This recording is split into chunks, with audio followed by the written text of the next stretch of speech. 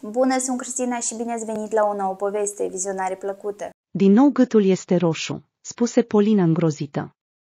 Doamne, când o să creștem odată? Mama puse termometrul fiicei sale de șase ani și ieși la bucătărie. Gâtul Mariei era cel mai vulnerabil loc. În fiecare lună avea ba o angină, ba o amigdalită. Fica suferea enorm, iar odată cu ea suferea și Polina. Medicii spuneau că va crește din asta, dar nicio îmbunătățire nu se observa. Bolile fiicei creau și pentru Polina o mulțime de probleme. În primul rând, trebuia să se învoiască des de la muncă. În cele din urmă, a fost nevoită să demisioneze.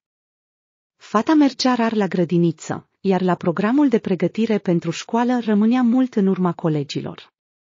Maria era o fetiță isteață, de aceea asta o ducea pe Polina și mai mult la disperare. În timpul bolii fiicei, Polina citea sau îi explica ceva, iar Maria stătea întinsă și tăcea. Polina și Eduard aveau un singur copil. Desigur, visau la un al doilea, mai ales soțul își dorea un fiu, dar din cauza bolilor constante ale Mariei nu se puteau decide. Eduard trebuia să lucreze singur. Fără mama lui, le-ar fi fost foarte greu să se descurce. Soțul Polinei plătea creditul din salariu, iar Tatiana Lvovna le mai dădea bani o dată pe lună. Eduard mai avea o soră mai mare, dar ea avea o familie bogată, de aceea soacra o ajuta doar pe fiul ei. Din partea părinților Polinei nu prea primeau ajutor. Fratele ei mai mare era alcoolic, de aceea părinții ei trebuiau să se îngrijească de cei doi copii ai lui. Polina a lucrat ca contabil aproape șase ani, iar după ce a fost nevoită să demisioneze, nu a mai avut noroc cu găsirea unui loc de muncă. Visa să lucreze de acasă, dar nu reușea. A încercat timp de șase luni, dar apăreau mereu probleme care o obligau să meargă la birou. În plus, Maria avea crize frecvente. Nu reușea să le combine pe toate. Eduard, nu mai pot așa, i-a spus ea într-o zi soțului. Știi, trebuie să fiu flexibilă. Da, am pierdut ani cu studiile, am dedicat mulți ani muncii, dar acum văd că nu pot să lucrez în domeniul meu. Nu am decât două opțiuni, să continui să mă lovesc cu capul de perete sperând că într-o zi voi avea un loc de muncă ideal acasă, sau să încerc altceva. Și cu cât trece timpul, cu atât îmi dau seama că trebuie să aleg a doua cale. Nu mă voi mai ține de contabilitatea mea. Polina, este o întrebare foarte complicată, i-a răspuns Eduard. Dar ar fi înțelept să înveți să iei decizii dificile. Poate că ai dreptate. Poate că ar trebui să faci altceva cu viața ta. Decizia a fost într-adevăr foarte dificilă. Era și presiune din partea altora. Fostul colegi și părinții Polinei nu o înțelegeau. Ultimii o ajutaseră să termine institutul, iar acum. Totul părea zadarnic. Mamă, am un copil care suferă, nu o pot abandona. Tu poți să mă înțelegi? Nu o să stai mereu cu Maria, a încercat să explice fica. Da, nu pot fizic. Trebuie să am grijă de copiii lui Vladimir, a obiectat imediat mama. Dar ce vrei să faci este o nebunie. Cu ce te vei ocupa? Tu nu te pricepi la nimic altceva decât la cifrele tale.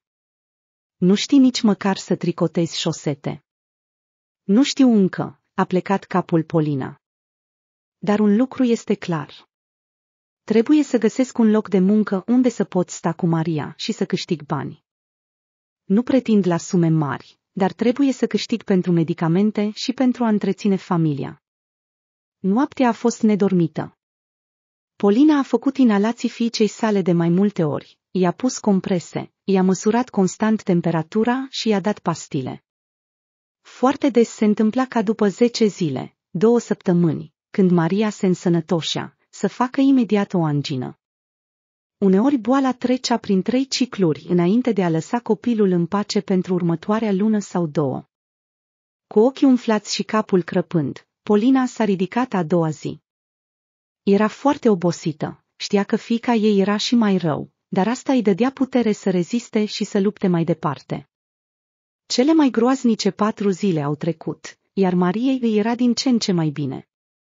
Deja putea să se joace cu jucăriile ei, iar Polina a simțit o dorință puternică de a cânta la muzică. Uitase deja când a cântat ultima oară la pian. Părinții femeii puteau fi numiți intelectualii. Cel puțin, ei au aspirat la asta toată viața. Atât tatăl, cât și mama aveau studii medii, au fost mereu apreciați la locul de muncă și au investit mult în copiii lor. Fiul lor Vladimir a jucat fotbal, iar Polina, așa cum se cuvenea la acea vreme, a fost trimisă la o școală de muzică. Și tot ar fi fost bine, părinții ei credeau ca o familie exemplară, dar Vladimir a luat-o pe un alt drum. Băiatul s-a căsătorit, totul era bine, dar după nașterea primului copil a început să bea neașteptat. Fie a dat de o companie rea, fie a avut o aventură, dar oricât s-au străduit mama și tatăl, nu l-au putut salva. Ba locuia cu soția și cei doi copii, ba dispărea undeva. În cele din urmă, părinții s-au epuizat și au început să facă tot posibilul pentru a-și asigura nepoții. Polina a tresărit. Degetele ei se dezvățaseră atât de mult de la cântat, încât un fior i-a străbătut tot corpul. Maria a aruncat păpușile și s-a apropiat de ea. Privea cu interes la mâinile ei. Polina a cântat la pian timp de aproximativ 20 de minute, fredonând melodii simple, iar starea ei de spirit s-a îmbunătățit. Maria a zâmbit și ea, mulțumită. Femeia s-a oprit. Inima îi bătea cu bucurie în piept. Polina avea un sentiment ciudat, dar nu-l putea defini exact. Cât timp a trecut? Când m-am așezat la pian pentru prima dată, eram aproape de aceeași vârstă ca Maria, a gândit ea. Câteva zile mai târziu, sentimentele Polinei au prins contur. A scos la iveală niște discuri vechi. Sincer să fiu, femeia era sigură că le aruncase de mult timp, dar nu. Totuși, a reușit să găsească ceva. Aria lui Calaf din Eida. A citit și a introdus discul. O muzică frumoasă a umplut camera, însoțită de o voce masculină catifelată. Doamne, este chiar Andrea Bocelli. Pielea i s-a făcut de găină. Un cântăreț orb. Polina și-a amintit povestea tragică a italianului. Dragostea lui pentru muzică nu a putut fi oprită. Nici măcar de faptul că băiatul a orbit complet la 12 ani. Femeia s-a cufundat în gândurile ei și nu a observat că Maria stătea acolo tot timpul. Cu ochii închiși și fredonând ceva. Polina a fost profund impresionată de muzică aproape toată ziua. A decis să asculte câteva arii în fiecare zi. În acel moment, avea nevoie de asta. Trei zile mai târziu, femeia făcea treburile casnice când a auzit un sunet. Polina s-a uitat în camera unde se juca fica ei. Maria cânta.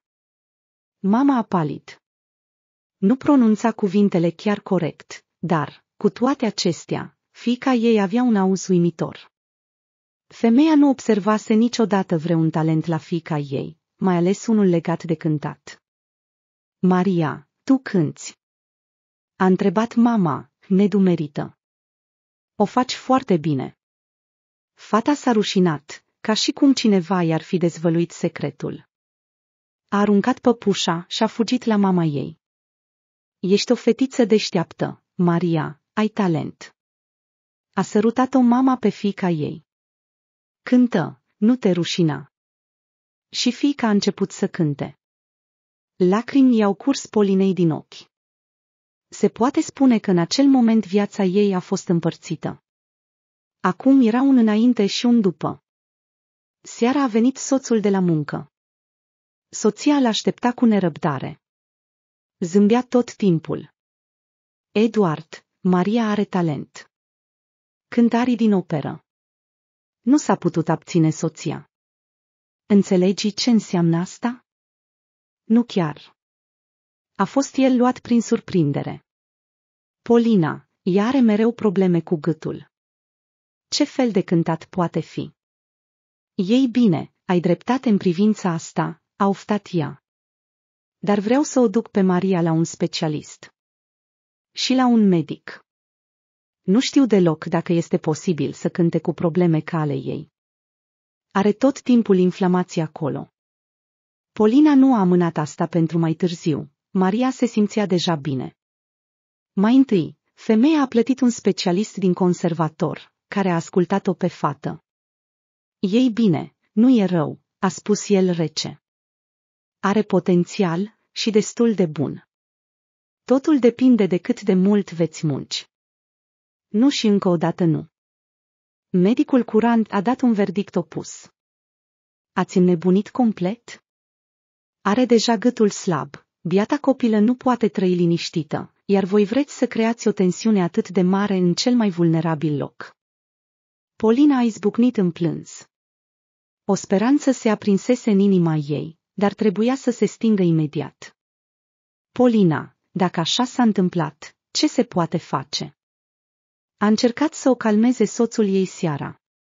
La urma urmei, mulți oameni au auz și voce, dar nu sunt deloc implicați în muzică. Lasă totul să meargă așa cum merge. Și femeia a fost de acord cu el, dar doar pentru trei zile. Apoi, totul în ea a început să trimită semnale de dezacord, Polina era extenuată. Dar, cum se întâmplă adesea, o întâmplare a pus totul la locul său. S-a auzit un sonerie neașteptată. Polina a deschis ușa apartamentului. Pe prag stătea o străină. Femeia era foarte stânjenită. Scuzați-mă, suntem noi voștri vecini de la etajul superior, a spus ea cu voce tremurândă. Am auzit că cântați la pian. Ne-am mutat acum o lună. Fiul nostru a luat lecții private timp de câțiva ani. Nu am găsit încă pe nimeni. Nu ați putea să vă ocupați de Artem? Pur și simplu nu ne dorim să facem o pauză atât de lungă. Vreți să dau lecții de pian fiului dumneavoastră? A întrebat uimită mama Mariei. Scuzați-mă, dar eu. A început să spună ea, dar s-a corectat rapid. Sunt de acord. Femeile au discutat detaliile, iar Polina s-a întors în apartamentul ei. Capul îi vâjeia. Nu se văzuse niciodată ca profesoară, mai ales de instrument muzical, dar o surpriză și mai mare o aștepta. Maria, care o observa tot timpul pe Polina în timp ce îl învăța pe Artem, reușea să memoreze în mod incredibil combinațiile de clape. Și apoi, când băiatul pleca, le reproducea cu ușurință. Maria, cum ai reușit să memorezi asta? Se mira mama, când fetița abia reușea să apese pe clapele potrivite. Este pur și simplu incredibil. După o lună, Polina nu mai avea nicio îndoială că fiica ei avea talent muzical. Fetei îi plăcea să învețe să cânte la pian, dar mai ales îi plăcea să cânte. Nu melodii pentru copii, ci arii complexe. Maria avea o intuiție specială. Chiar dacă nu înțelegea cuvintele și nu le descifra complet, le cânta în tonalitățile corecte. Mama lui Artem era foarte mulțumită de rezultatele fiului ei și a împărtășit impresiile sale despre lecțiile lor. Spre surprinderea totală a Polinei, ea avea deja trei elevi, două fete și Artem. Polina, a înnebunit complet, s-a certat mama cu fica ei. Ai studii superioare, ești contabilă, nu profesoară de muzică. Mamă, acum sunt profesoară de pian și îmi place foarte mult munca mea, a protestat ea. Polina nu se gândise niciodată că lecțiile de muzică îi vor aduce atâta satisfacție. Dar motivația ei principală era fica ei. Chiar dacă Maria nu putea studia canto profesional, totuși era conectată la muzică. Era ca și cum Polina ar fi deschis cutia Pandorei, în sensul bun. Nu a observat imediat că trecuseră deja două luni, iar Maria nu se mai îmbolnăvise. Da, venise primăvara, dar totuși, anginele și amigdalele ei nu reacționaseră niciodată la asta, nu le păsa în ce anotimp veneau. Maria, hai să vedem gâtul, a rugat-o mama într-o zi. Totul era curat, gâtul arăta sănătos. A doua zi, Polina a mers din nou la medic. Aceasta a examinat-o pe fică și s-a bucurat pentru ea. Ludmila Georgivna, nu ne-am mai îmbolnăvit de aproape două luni și jumătate. Poate Maria a depășit deja? Ne-ați putea permite să ne ocupăm serios de Canto? Nu, a interzis categoric medicul. Copilul dumneavoastră abia a început să se simtă mai bine, iar dumneavoastră vreți să stricați totul. Polina s-a întors acasă pierdută, iar Maria asculta arii din opere și Fredona în fiecare zi. Fetei îi plăcea foarte mult această ocupație. Într-o zi, mama a dus-o pe fiica ei la o plimbare. Era o expoziție cu animale exotice. Polina i-a arătat Mariei cu interes păsările tropicale. Una dintre ele a cântat, iar fetița a încercat imediat să o imite. Desigur, nu a reușit, dar a fost foarte asemănător. Ce bine te descurci, a spus o mămică cu un copil în brațe. Nu e rău, a lăudat-o pe Maria. Probabil că luați lecții de canto? Aveți un auz extraordinar. S-a adresat ea mamei. Nu, nu, nu ne este permis, a oftat Polina. Maria are probleme cu gâtul. Îi place să cânte, dar medicul nu ne dă voie. Probabil că v-au chinuit amigdalele, a privit-o cu compasiune străină. Înțeleg. Fiul meu cel mare a fost la fel. Ce nu am făcut în copilărie? Era să ne pierdem mințile. Ați reușit să vindecați etanseilita cronică? Sau ați depășit-o? S-a agățat de cuvintele ei Polina ca de un pai. Nici unul, nici celălalt. Îmi pare rău, dar dacă vă spun adevărul, nu mă veți crede. Dar ne-a ajutat, a zâmbit femeia. Vă rog, povestiți-ne, poate încercăm și noi. Și Maria se va vindeca în sfârșit. A privit-o implorator Polina. Primul lucru pe care vreau să vi-l spun este că nu am renunțat niciodată la medicina tradițională, nu am cum fără ea, a răspuns imediat străina, care se numea Svelana. Am aflat din întâmplare că există un bătrân vindecător într-un sat. Folosește metode de tratament foarte neobișnuite. Nu știu nici acum pe ce se bazează. Dar l-a dus pe fiul meu Alexandru într-o peșteră. Acolo se creează un sunet neobișnuit. Ei bine, am petrecut cinci ședințe în acest loc cu fiul meu și cu acest bătrân. Mi-a spus că acolo sunetul nu se reflectă doar de pe pereți, ci și se intensifică. Se pare că atunci când o persoană scoate un sunet, acesta se întoarce în gâtul ei cu o forță dublă și când ajunge la corzile vocale și gâtul bolnavului, are loc vindecarea. Seamănă cu homeopatia. Similarul se vindecă cu similar, s-a gândit Polina. Doar că aici doza nu se micșorează, ci din potrivă, crește. Vă rog, dați-mi adresa acestui om. Nici măcar nu știu dacă mai tratează acum. Am fost la el acum aproape șase ani, a spus Velana cu regret și a povestit cum se poate găsi acest vindecător ciudat. Polina a fost atât de entuziasmată de această idee, încât pur și simplu nu se putea liniști. De ce oare? I se părea că acest bătrân o va ajuta cu siguranță pe fiica ei. Polina, ce prostie e asta? Nu vreau să o duci pe Maria la nu știu cine. Nu. A interzis imediat soțul. Soția a fost de acord, dar în secret suferea. Suferea și Maria. În fiecare zi, ea dorea tot mai mult să cânte. Într-o zi, fetița nu a mai putut suporta și a cântat cu toată puterea un fragment din opera ei preferată. Polina a fost atât de uimită, încât nici măcar nu a putut să o oprească, dar seara gâtul Mariei s-a înroșit și a făcut angină. Doamne, de ce ni se întâmplă toate astea? A plâns mama. Doar totul mergea bine, când se va termina asta? Și Eduard se uita cu compasiune la fiica sa. Polina făcea toate procedurile prescrise de medic, dar în acest caz, cel mai bun doctor era doar timpul. Eduard, te rog, hai să mergem la bătrânul ăsta. Soția l-a implorat cu ochii plini de lacrimi. Dar vezi bine cât suferă. Bine, a oftat el, să se vindece mai întâi Maria, apoi vom vedea. Angina a fost lungă, aproape două săptămâni copilul nu și-a revenit. În weekend, Polina a convenit cu soțul ei să meargă la sat. Locul era îndepărtat. Sincer să fiu, nici femeia, nici soțul ei nu auzise de așa ceva. Polina a decis să vorbească cu soacra sa, Polina.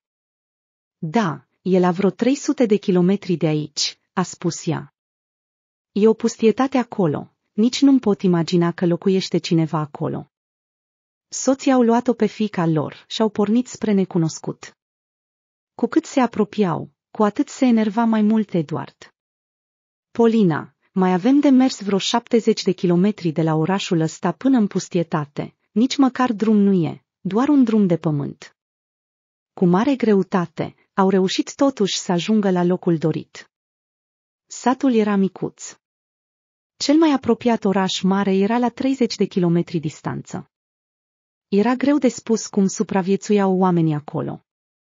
Dar când Eduard a vorbit cu un localnic, acesta i-a spus că trăiesc din pescuit și din turiști. Se pare că sunt locuri foarte frumoase acolo. Da, moșul Feodor e încă în viață. E drept că nu mai tratează de mult timp, dar dacă vreți, mergeți la el, a arătat el cu mâna spre o casă veche. Polina a fost imediat de acord. Nu a fost descurajată de cuvintele localnicului. S-a urcat în mașină și Eduard a condus până la casa respectivă. Au bătut mult timp la ușă, până când a apărut un bătrân cu un băț mare. Polina, cred că trebuie să renunți la ideea ta, a oftat imediat soțul. El însuși respira greu. Dar spre surprinderea lui, bătrânul a coborât rapid de pe prispă și s-a îndreptat spre ei. Moșule Feodor, vă rog, ajutați-ne. A implorat imediat Polina. Fica noastră este bolnavă tot timpul. Nu mai avem putere. Și toate tanzeliții și anginele astea îi afectează inima, vă rog. Vă vom plăti sau vă vom răsplăti cum doriți. Oh, fică, sunt prea bătrân să mă mai cațer prin peșteri. A zâmbit bătrânul. Am deja 102 ani. Mă tem că nu vă pot ajuta. Polina a izbucnit în plâns la auzul cuvintelor lui. Avea o asemenea speranță când a venit la el. Ei bine, dacă puteți ajunge singuri acolo, atunci faceți ce vă spun. Poate că vă va ajuta. Eu nu am nicio treabă cu asta. În acest caz, principalul lucru este acustica din peștera respectivă, a încercat bătrânul să o consoleze. Și unde este această peșteră? Nu avea de gând să renunțe oaspetele. Vom merge acolo. Nu o veți găsi singuri. Trebuie să luați pe cineva din sat. Întrebați. Cineva vă va duce acolo pentru bani, a meditat bătrânul. La aproximativ 10 kilometri de aici este un șir de dealuri. Noi le numim munți. Ei bine, într-unul dintre ele este o peșteră nu foarte adâncă. Toți localnicii o cunosc. Polina a bătut la fiecare poartă și a cerut ajutor. În cele din urmă, un bărbat de vârstă mijlocie a fost de acord să-i conducă acolo. Împreună cu el, Polina și soțul ei s-au întors la medic. El i-a explicat totul localnicului, mai rămânea doar puțin de făcut. Nu e periculos aici. S-a alarmat Eduard. Animalele sălbatice nu atacă oamenii, dar... Cum să spun? Se mai întâmplă, dar foarte rar. Doar atunci când oamenii care nu cunosc locurile astea se plimbă singuri pe aici, a răspuns ghidul. Răspunsul lui nu l-a liniștit prea mult pe soțul Polinei, care a început să se îngrijoreze puțin.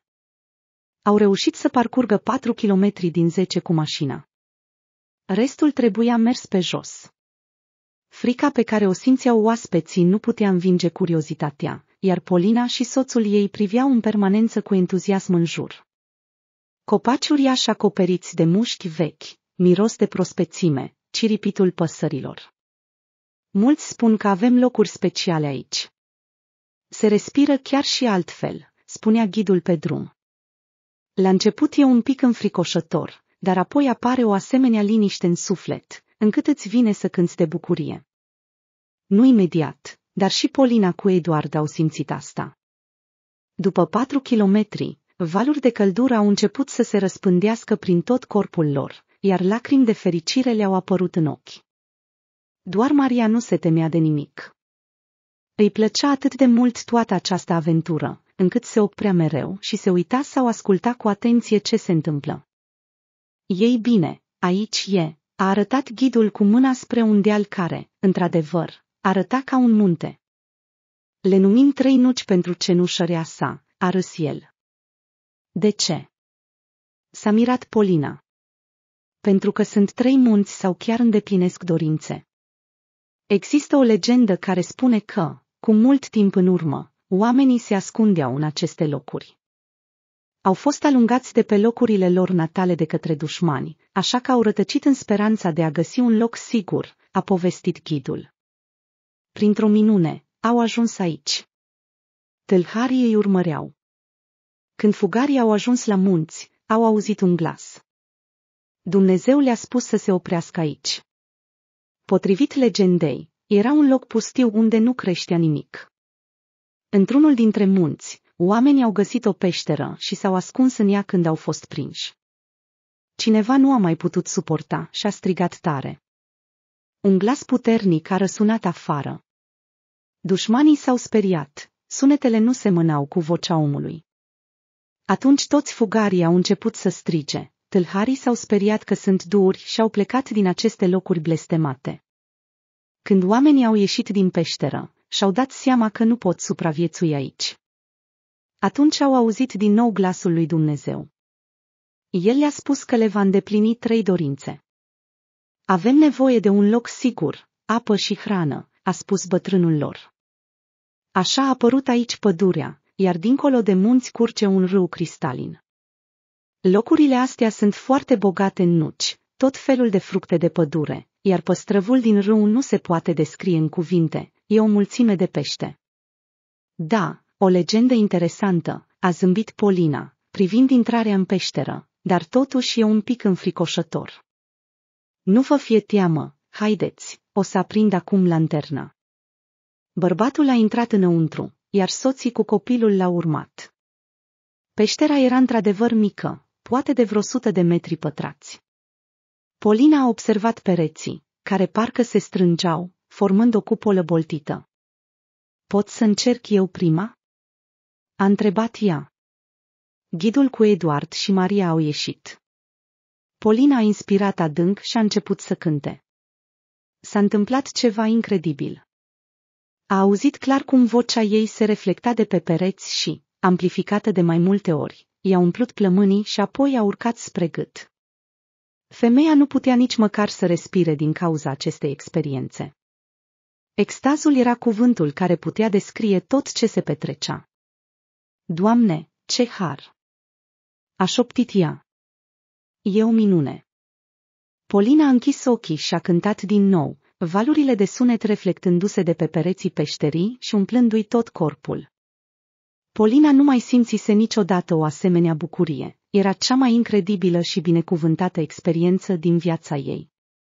După o jumătate de oră, și-a revenit în sfârșit și a început să se ocupe de Maria. Polina i-a arătat ce note trebuie să ia. Fetița repeta cu plăcere după mama ei.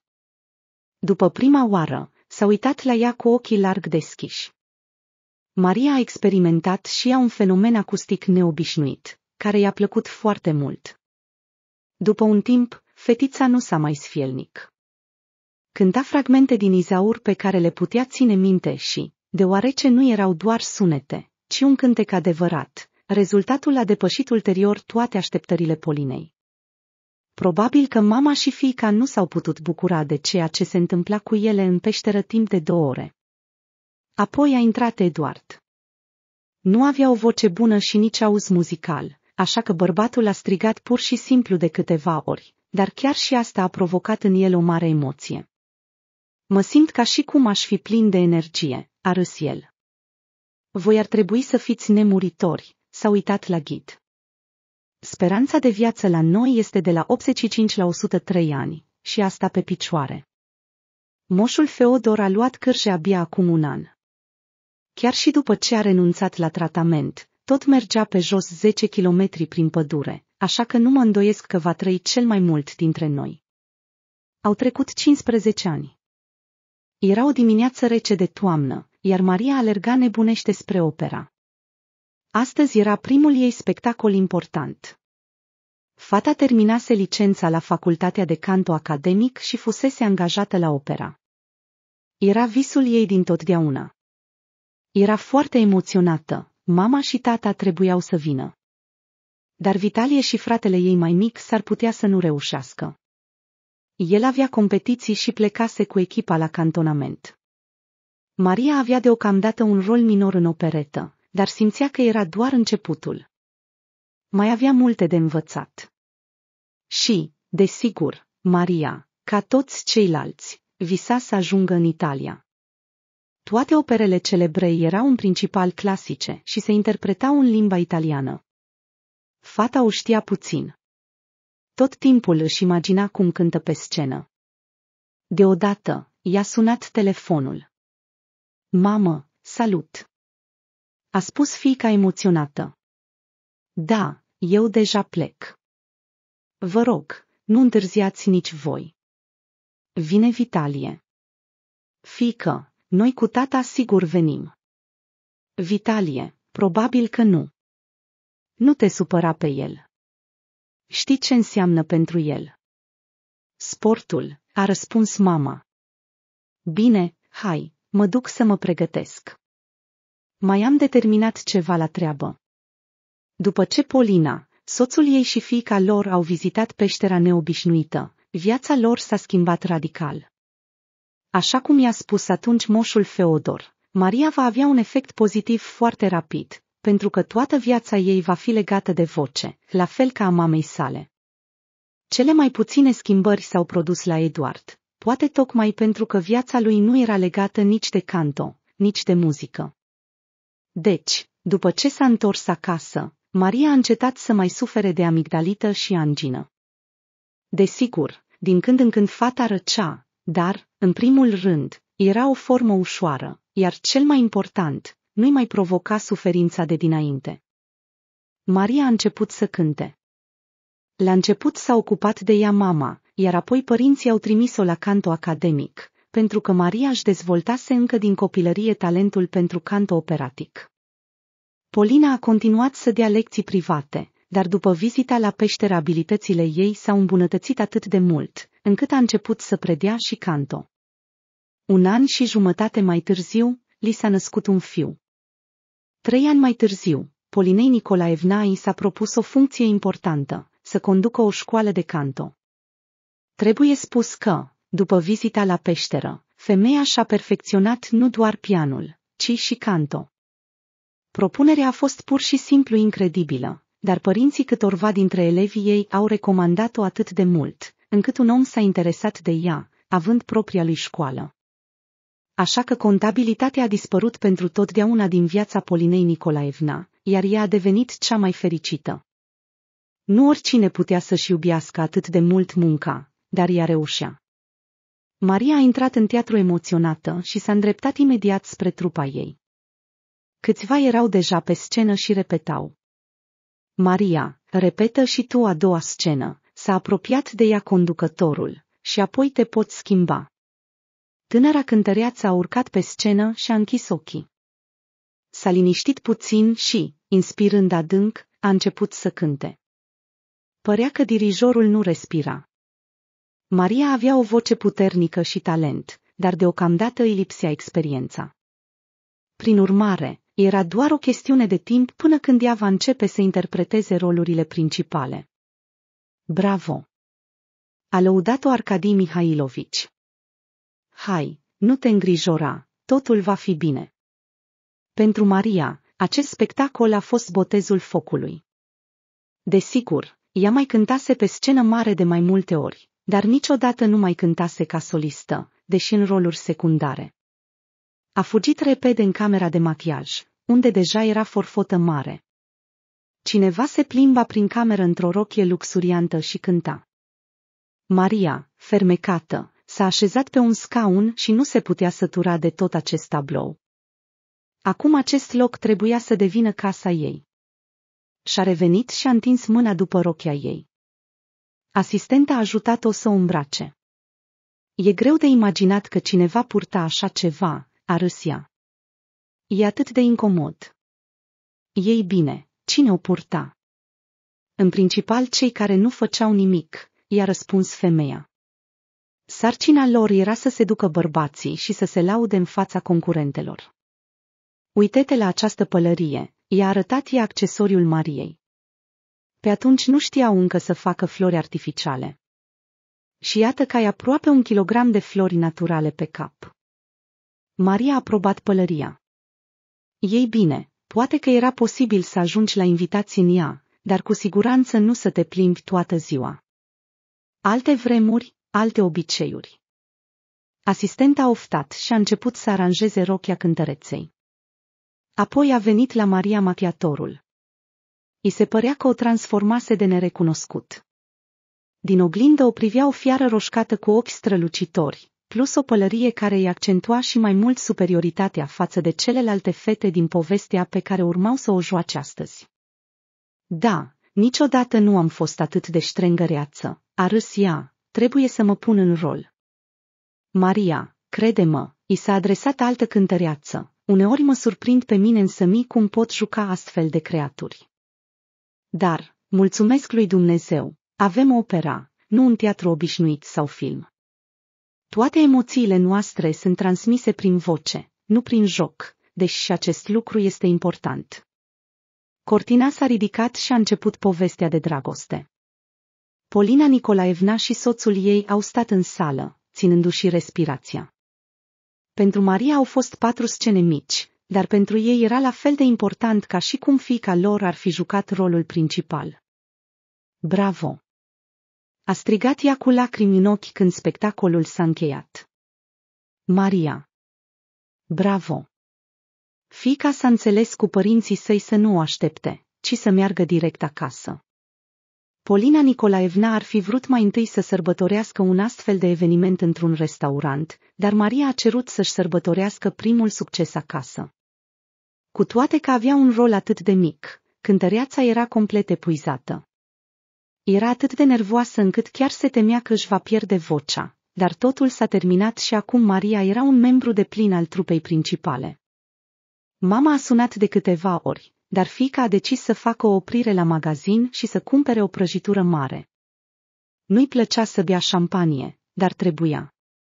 A fost dulce să-și calmeze nervii. Fata a ieșit din ușa supermarketului și a vrut să coboare rapid, dar a alunecat și a căzut de pe trepte. Ca într-un film încetinit, a văzut cum tortul ei s-a ridicat și a căzut pe asfalt cu toată forța. Maria a rămas fără suflare. Încă nu simțea durerea de la genunchiul zgâriat. Mai mult, o interesa tortul. Nu te-ai lovit. Cineva a repetat de câteva ori deasupra capului ei și, fără a aștepta răspunsul, a început să o ridice. Mulțumesc, a spus automat Maria și, șchiopătând, s-a îndreptat spre victima sa. Acesta zăcea pe o parte. În el abia se distingea tortul. Era doar un morman de aluat cu cremă. Da, nu a avut noroc. A spus aceeași voce și Maria s-a întors spre el pentru prima dată. Un tânăr, în jur de 20 ceva 30 de ani, o privea intens. Pe fața lui se putea vedea că era confuz, ochii lui versi încleștați în cutia care nu mai era transparentă. Străinul părea să se gândească intens la ceva. Ei bine, ne rămâne doar o singură opțiune, a suspinat el și s-a uitat la Maria. Îl putem înlocui. Puteți să mergeți? El a privit genunchiul însângerat al fetei. Cred că nu. Atunci să facem așa. Tu stai în mașina mea, iar eu mă duc să iau altul. Oh, nu, mulțumesc, a protestat imediat Maria. Nu-i nimic, îl cumpăr eu singură. Fata a încercat să meargă, dar piciorul i s-a subrezit de durere. Vedeți?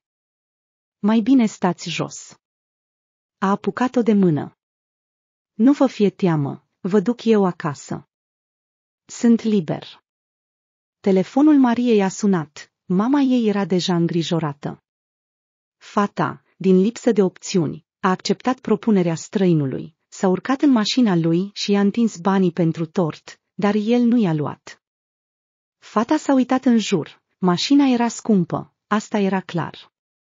Chiar și pentru Maria, care nu se pricepea la tehnică, era evident că valora mai mult de un milion.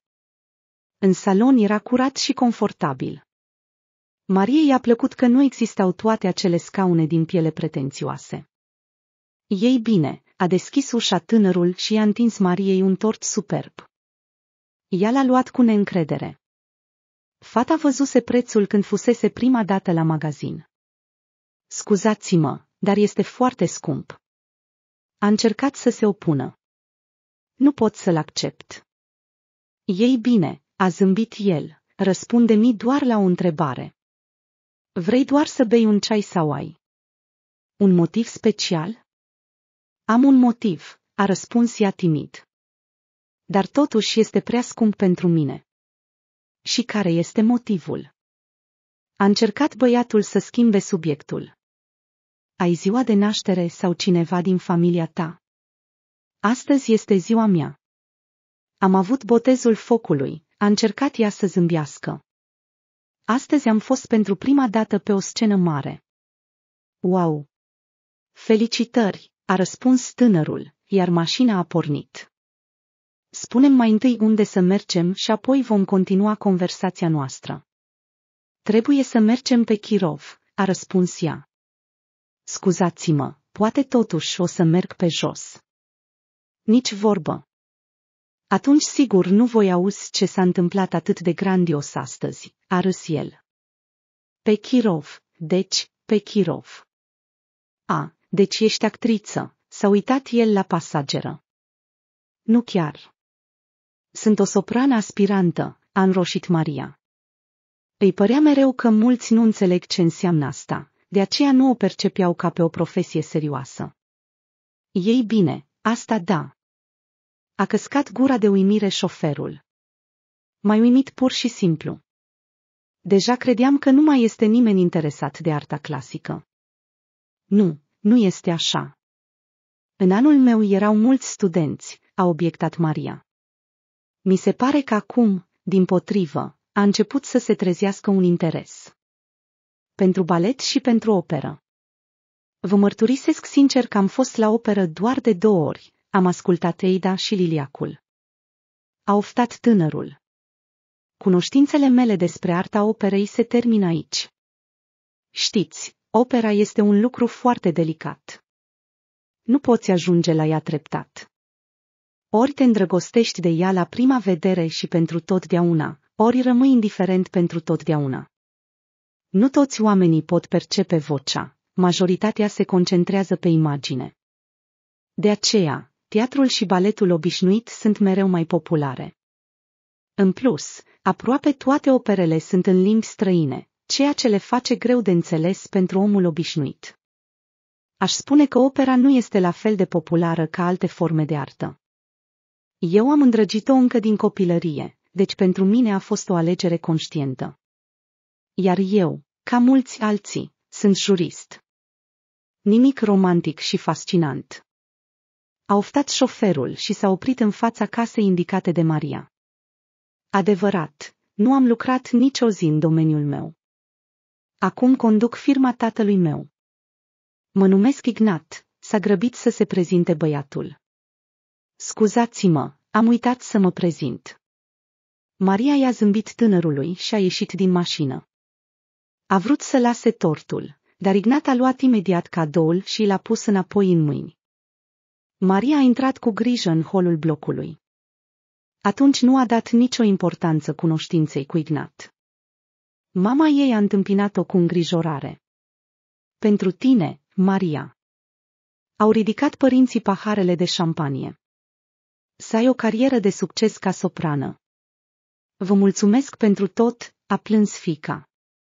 Vă mulțumesc că mi-ați dus împotriva tuturor la acea vară uitată de Dumnezeu. Dacă nu m-aș fi vindecat, nici nu-mi pot imagina ce aș fi făcut. Cântatul este totul pentru mine. Este viața mea. În acea noapte, Maria și-a amintit cum a fost ascultată pentru prima dată de un profesionist. Anna Pavlovna a fost la început precaută, dar apoi a privit-o cu o uimire nesascunsă. Apoi Maria și-a amintit de primul ei concert, în care a participat în clasa a treia. Mama și tatăl ei au făcut tot posibilul pentru a-i oferi un profesor academic bun. Toți spuneau la unison că într-o zi Maria se va trezi faimoasă, cel puțin în cercurile sale. Fata avea un talent incontestabil, dar Maria nu era prea interesată de faimă sau de titluri. Ea pur și simplu voia să cânte. De fiecare dată când se pregătea, își amintea de senzația pe care o avea atunci în peșteră. Plămânii ei se dilatau, parcă se umflau ușor ca niște baloane, iar apoi un flux luminos se răspândea prin tot corpul fetei. Maria își dedica tot timpul, dacă nu chiar tot, studiilor sale. Ea cânta destul de bine la pian, dar programul zilnic obositor o epuiza complet. Fata nu a reușit niciodată să-și facă prietene. În școală se împrietenise cu Arina, dar din cauza programului încărcat de la școala de muzică, Maria nu putea să se vadă cu ea prea des după cursuri sau un weekend. Așa că au terminat școala și au mers pe drumuri separate. Nici la Institutul de Arte nu a reușit să-și facă prieteni. Maria era prea serioasă în privința studiilor, așa că plimbările și întâlnirile după institut nu erau pentru ea. În plus, era mereu solicitată să cânte la diverse sărbători sau evenimente, iar pentru o prestație bună era nevoie de o pregătire de multe ore. Viața profesională a Mariei a luat avânt și ea petrecea tot mai mult timp la opera. La o lună după prima ei apariție, urma o nouă premieră. Maria trebuia să participe și ea, deși doar pentru o scurtă apariție. Ca de obicei, la premieră au venit și părinții fetei, iar de data aceasta a reușit să vină și fratele ei mai mic. Vitalie nu suporta deloc gurile care se căscă, cum numea el în glumă cântăreții de operă, dar părinții l-au obligat să se familiarizeze cu viața culturală. Mai bine vă arăt eu câteva lovituri de picior, se împotrivea el adesea. Vă vor fi de mai mult folos decât cântatul Mariei. Dar fata nu s-a supărat niciodată pe el. Se bucura mereu că are un frate. Deși diferența de vârstă era mare, adolescentul era totuși important pentru ea. Au trecut aproape două luni când, într-o zi, Maria a ieșit din teatru și a observat o mașină familiară. Maria. A salutat-o cineva. Maria a zâmbit. Salut. Scuze că nu te-am putut găsi mai devreme. Asta e pentru tine. A spus Ignat, întinzându-i un buchet de trandafiri albi. Mulțumesc! A exclamat ea uimită. Ignat, nu mă așteptam să te văd aici. La început a trebuit să plec pentru două săptămâni, iar apoi nu am reușit să te găsesc. Nu-ți știu numele de familie, iar nimeni nu mi-a putut spune unde să te caut. Te aștept aici de aproape patru ore. Sper că nu te superi dacă stăm puțin la o cafea. Nu, Mariei era foarte rușine că omul o așteptase atât de mult timp. S-a urcat în mașina familiară și Ignat a dus-o undeva. Și-a lăsat buchetul și a intrat cu el în cafenea. Am o surpriză pentru tine, i-a făcut el cu ochiul. Scuze, am căutat peste tot, dar nu există cafenea sau restaurant în orașul nostru unde să se cânte operă. Deși nu știu, poate că nu există deloc dar totuși am găsit ceva. Nu știu dacă îți place jazzul. Dar astăzi vom asculta jazz. Tinerii au luat cina și au băut cafea, când pe scenă au apărut muzicieni. După ei a ieșit o fată într-o rochie strălucitoare și mulată. Tăietura laterală era foarte îndrăzneață, dar cântăreața nu era deloc stânjenită. A început să cânte. Maria a închis ochii muzica jazz era foarte diferită de opera. S-ar putea spune că jazzul pulsa, în timp ce opera se revărsa, umplând tot spațiul. Ignat o privea pe Maria cu interes. Deja își pierduse speranța că o va găsi. Tânărul se certa cu sine că nu a îndrăznit să-i ceară numărul de telefon. Maria îl atrăgea. Nu era ca fetele pe care le cunoștea. Ignat iubea compania femeilor și sentimentul era reciproc, dar motivația lui nu era neapărat corpul frumos și emoțiile intense, ci mai degrabă. Ceva interior, care să-l captiveze. De la fiecare fată nouă cu care se întâlnea, aștepta un singur lucru, absența banalității și dorința de a fi ca toți ceilalți. Toate aceste standarde identice îl obosiseră deja. Da, se întâlnise cu multe fete. Dar se va căsători doar cu una, cu cea care îl va putea surprinde cu lumea ei interioară. Ei bine, ce-ai zic? A întrebat-o Ignat zâmbind, când fata a terminat de cântat. Ți-a plăcut? Aș spune așa, nu este genul meu, dar există oameni cărora le place jazzul. Și asta e bine. Așa și trebuie să fie. Dacă toți ar iubi doar opera, ar fi o catastrofă. Sincer, a răspuns ea, suntem toți diferiți. Unii dintre noi sunt similari în anumite privințe, dar nu ar trebui să ne judecăm pe ceilalți după noi înșine. Îmi place că acești băieți își fac treaba. Ai o gândire foarte globală, a privit-o serios Ignat. Pentru mine este neobișnuit să vorbesc cu o fată care are opinii atât de largi. Nu văd nimic surprinzător în asta. Mi se pare că toată lumea se străduiește să gândească global, altfel totul se va învârti în jurul eu, al meu, s-a mirat ea. Ei bine, să-ți spun așa, mulți nu ar fi de acord cu tine. Toată lumea vrea să aibă dreptate, a oftat băiatul. De aceea oamenii se percep ca niște dușmani. Maria a stat cu Ignat la cafenea vreo trei ore.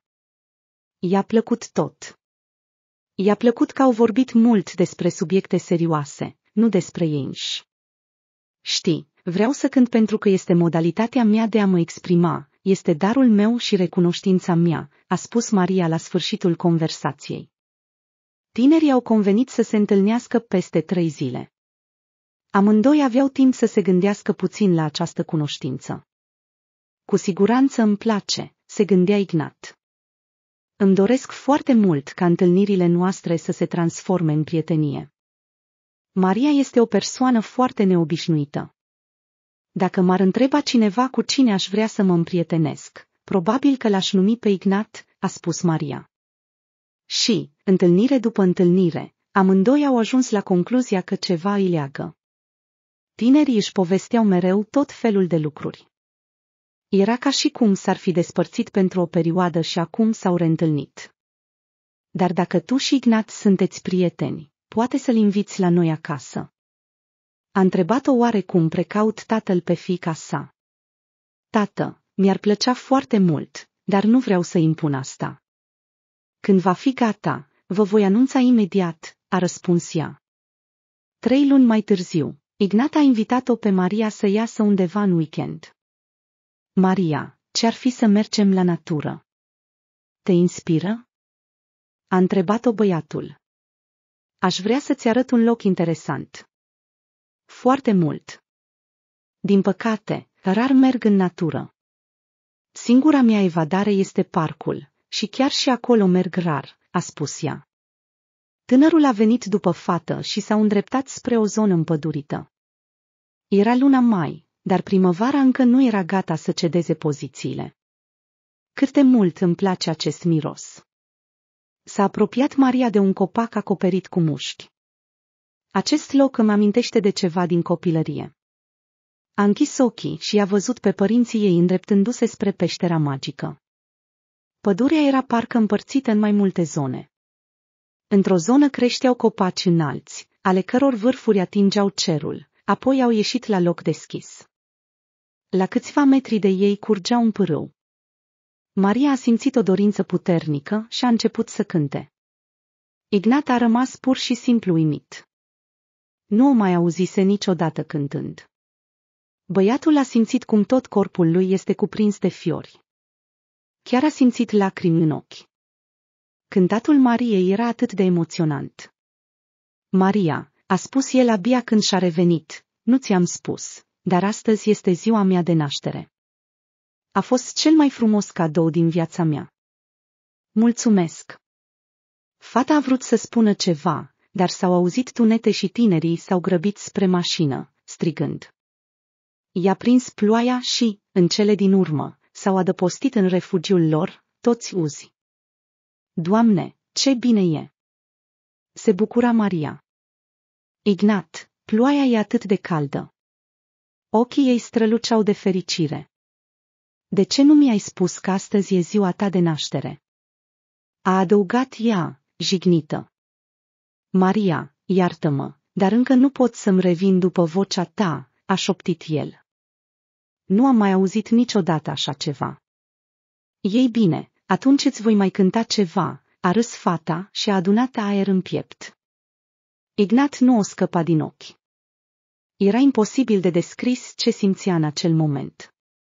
După această întâlnire, Ignat nu mai avea nicio îndoială că ar dori să treacă la un nou nivel de relație cu Maria. Fata l-a impresionat atât de mult, încât în interiorul lui parcă s-a răsturnat totul. Nu a avut niciodată astfel de sentimente pentru nicio fată. Și Maria a simțit că nu se mai deschisese niciodată unui străin în acest fel. Era foarte emoționată. Îi plăcea de Ignat și înainte, dar ca de un om și un prieten. Dar acum Maria simțea clar că o atrage ca bărbat. Doamne, dar dacă mă îndrăgostesc de el? Își frământa ea nervos mâinile la repetiție. De câteva zile, Ignat nu ieșea din cap și fata nu se putea concentra pe muncă. Și conducătorul a simțit că ceva nu este în regulă cu cântăreața. Maria, te simți rău. S-a apropiat el de ea. Ea a clătinat din cap negativ. Spunem dacă e ceva. În acea zi, Maria, pierdută, se târâia spre casă. Și-a dat seama definitiv că este îndrăgostită nebunește de Ignat. Tânărul așteptat și el cu nerăbdare întâlnirea. Vorbeau la telefon în fiecare seară. Dar acum, în compania băiatului era foarte multă muncă, tatăl său îl pusese pe toate pe el cu șase luni în urmă și acum trebuia să dispară constant la birou. M-am săturat de muncă, gata, nu mai pot, i-a spus el fiului său atunci. Ai deja 28 de ani, așa că învață să-ți asumi responsabilitatea. Tată, credeam că mă vei sprijini măcar câțiva ani, a obiectat Ignat. Nimic, te vei învăța. Altfel vei sta mereu în spatele meu, nu a fost de acord tatăl. Dar, în ultimă instanță, te voi ajuta, desigur. Dar deocamdată e bine, descurcă-te singur. În cele din urmă, a venit duminica și tinerii s-au întâlnit. Ignat era foarte îngrijorat. Maria, trebuie să-ți spun ceva, a început el o conversație serioasă. Nu vreau să mint. Au fost multe fete în viața mea, dar toate au fost înainte de tine. După ce te-am cunoscut, toate celelalte nu mai au nicio importanță pentru mine. Te iubesc. Nu sunt doar vorbe. Vreau să ne căsătorim și să avem o familie. Maria era fericită să audă asta, dar abia începuse să-și construiască o carieră. Nu te voi obliga să stai acasă, Maria. Trebuie să te dezvolți în domeniul tău. Ai o voce unică. Și eu nu te voi împiedica niciodată să cânți. Chiar dacă va trebui să pleci în turnee, voi fi mereu de acord cu asta. Era sâmbătă și Ignat a decis să rămână acasă. În seara asta au convenit cu Maria să meargă în orașul vecin și să se plimbe. Ignat, vino puțin, s-a apropiat de el mama. Se zvonește că ai o relație serioasă. De ce aflu ultima? Mamă, nu știu cine ți-a spus. Nu i-am spus nimănui despre asta, a răspuns calm fiul. Crede-mă, voi fi primul care ți-o va prezenta. Dar măcar poți să-mi spui cine este ea. Nu a cedat mama. Credeam că am o importanță mare pentru tine. La urma urmei, sunt mama ta. Mamă, nu începe. A spus Ignat nemulțumit. Va veni ziua când te voi prezenta cu Maria. Deci o cheamă Maria. A spus mama sec. Deja nu-mi place, după nume. Și ce legătură are asta cu numele ei? Principalul este ce fel de om este, a obiectat fiul, și după asta îmi spui să împărtășesc cu tine secretele mele. Doar că nu te interesează nimic altceva decât propria ta opinie. Bine, cu ce se ocupă măcar? A încercat ea să afle cât mai multe informații. Ei bine, nu-ți voi spune asta cu siguranță. Vei afla când te voi prezenta cu ea. Dacă nu ți-a plăcut numele ei, atunci nu există nicio garanție că nu-ți va plăcea nici profesia ei, a răspuns rece Ignat. Ea este vânzătoare la supermarket? A glumit Alea Vladimirovna și a râs singură de gluma ei. Niciodată nu ți-aș face o asemenea plăcere. Și deși nu am nimic împotriva vânzătoarelor, dar de data aceasta nu vei ghici niciodată. Conversația nu mergea bine și Ignat a decis să o oprească. A spus că trebuie să plece la treabă și a ieșit din casă. Ce fel de Maria este asta? Nu se putea liniști mama. Dacă crede că voi fi de acord cu oricine, se înșală amarnic. Nu-i voi permite niciodată să se căsătorească cu o vânzătoare sau cu cineva de genul ăsta. A luat telefonul și a sunat-o pe sora ei mai mare. Era copăleșită de această veste și simțea o mare nevoie să se exprime. Și cum soțului ei, tatălui Ignat, nu-i păsa deloc, Alea Vladimirovna putea găsi mereu sprijinul necesar la Olga. Olga, îți imaginezi, Ignat al nostru vrea să se căsătorească cu o zdrență roaică, a spus ea cu voce plângăcioasă. Este o grozăvie. Eu deja a treia oară beau valeriană. Asta e o veste. Sunetul surprizei forțate s-a auzit prin telefon. Și ce spune el? Olga nu-i numea pe soțul surorii ei pe nume, în mod principial. Cu ceva timp în urmă, s-au certat și acum Dmitri Ivanovici era dușmanul ei numărul unu. Ce crezi că ar putea să spună? A izbucnit alea plângând. Ca întotdeauna. Își începe reprezentația. Ignat e adult, să-și decidă singur cu cine vrea să trăiască. Dar eu nu pot face asta, Olga. Știi cât de încăpățânat e fiul meu. Nu pot să-i spun nimic, simt că această târfă ne va jefui și rămân pe drumuri. Alia, dar sunt sigură că nu se va ajunge la asta. Sora ei încerca să o liniștească. Și soțul tău nu va permite să se întâmple așa ceva. El e la fel de slab ca și fiul lui. Dacă nu mă implic eu, cu siguranță îmi voi pierde fiul și familia și casa. Imaginația lui Alea Vladimirovna bătea toate recordurile. Convorbirea s-a încheiat în favoarea ei, acum Olga era complet de partea ei, să ai un aliat într-o astfel de problemă era jumătate din succes. Deci, dacă se întâmplă ceva, Olga mă va ajuta cu această Maria, își freca mâinile. Sora după încheierea convorbirii. Trebuie să organizez cumva totul în așa fel încât să ne întâlnim cu ea fără Ignat. Atunci aș putea să vorbesc cu ea cu adevărat. Spre seară, Alia Vladimirovna s-a mai liniștit puțin și a crezut că a început să tragă prea devreme alarma. Dar, totuși, așa cum se spune, pregătirea. Niciodată nu a rănit pe nimeni. Cel puțin, ea avea un plan și sprijinul surorii mai mari. În mod grosolan vorbind, erau doi împotriva a doi. Dacă îi consideri în opoziție pe Ignat și soțul ei.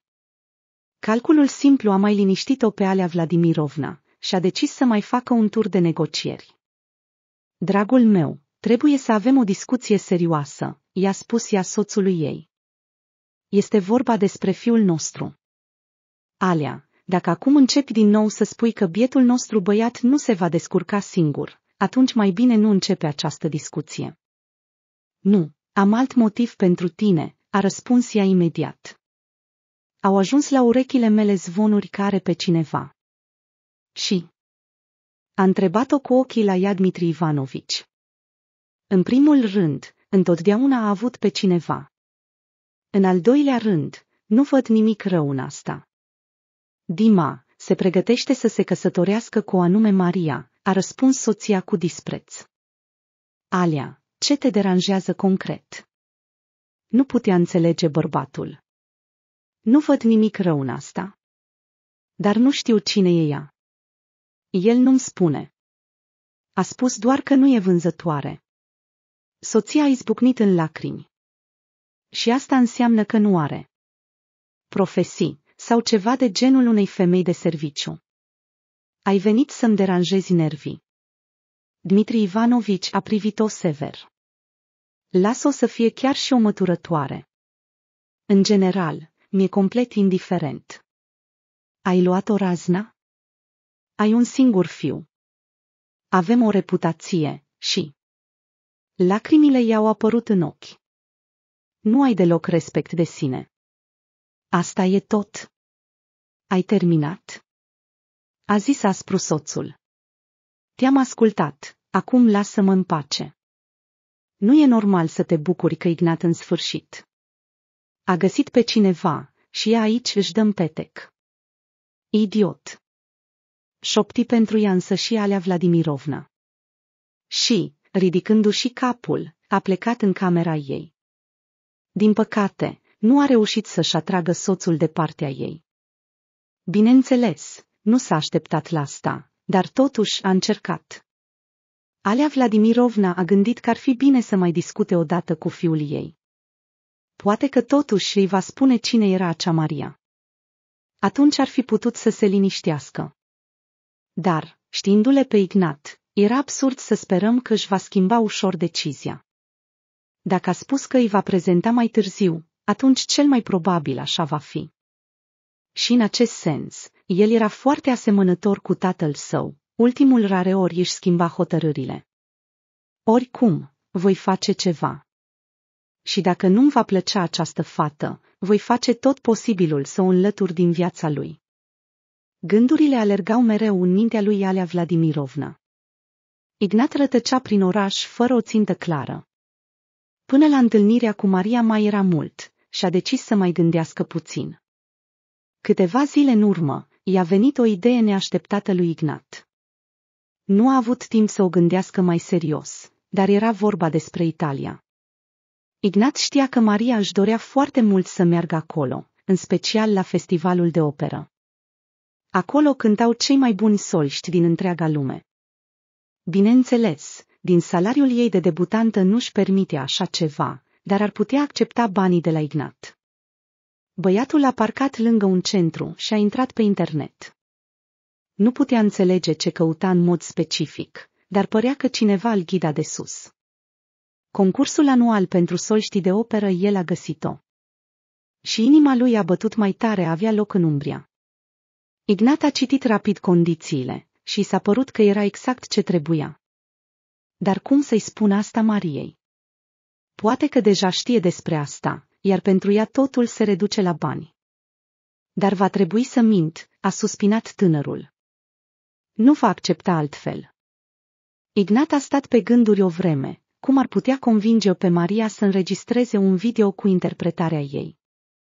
A decis să se oprească la ceva banal. Timpul întâlnirii a sosit, iar Ignat a plecat spre Maria. Ea l-aștepta deja lângă intrarea în bloc. Maria, salut! A sărutat-o băiatul. Astăzi vreau să te rog pentru două lucruri. În primul rând, ar fi timpul să mă cunosc cu părinții tăi. Deja vorbim despre nuntă cu tine. Iar eu nici măcar nu le cunosc bine numele. În general, este greșeala mea, dar la muncă. Tot timpul tot felul de treburi, nu reușesc nimic. Bine, vor fi foarte bucuroși, l-a susținut fata. Ignat, dar al doilea lucru ce este? Mă vei prezenta părinților tăi? A spus Maria cu voce agitată. Ei bine, și asta, doar puțin mai târziu, a eitat el. Maria, s-a adresat mie din greșeală un prieten. Este un om bogat, părinții lui vor avea un jubileu și și-ar dori ca la petrecere să cânte o soprană nu va regreta banii pentru muncă. Dacă te interesează o asemenea propunere, atunci el ar vrea să înregistrezi un video cu interpretarea ta. Are nevoie de ceva clasic. Ignati a propus câteva compoziții care au fost recomandate la concurs. Mi se pare că ar fi un venit suplimentar bun pentru tine. Tu crezi? S-a rușinat ea. Ignat, ei bine, pot încerca.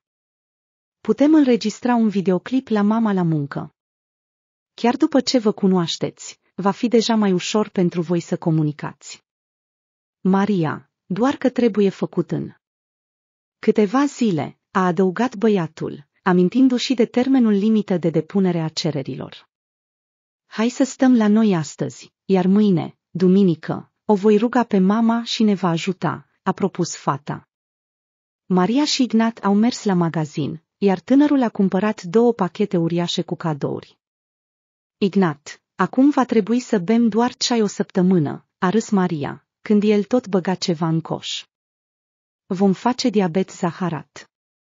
Ei bine, ca să nu se întâmple asta, hai să mai adăugăm și asta. A aruncat o bută de cârnați scump și o jumătate de cap de brânză cu găuri mari. Acum, hai să mergem după fructe. Maria a deschis ușa, iar pe prag a apărut Ignat cu două genți uriașe. Polina Nicolaevna se agita prin bucătărie. Asta e grozav, Maria. De ce nu mi-ai anunțat? Eduard, vino aici. A strigat ea soțului ei. Avem musafiri. Soțul, împreună cu Vitalie, au ieșit din cameră. Pe hol stătea o Maria mulțumită și un tânăr.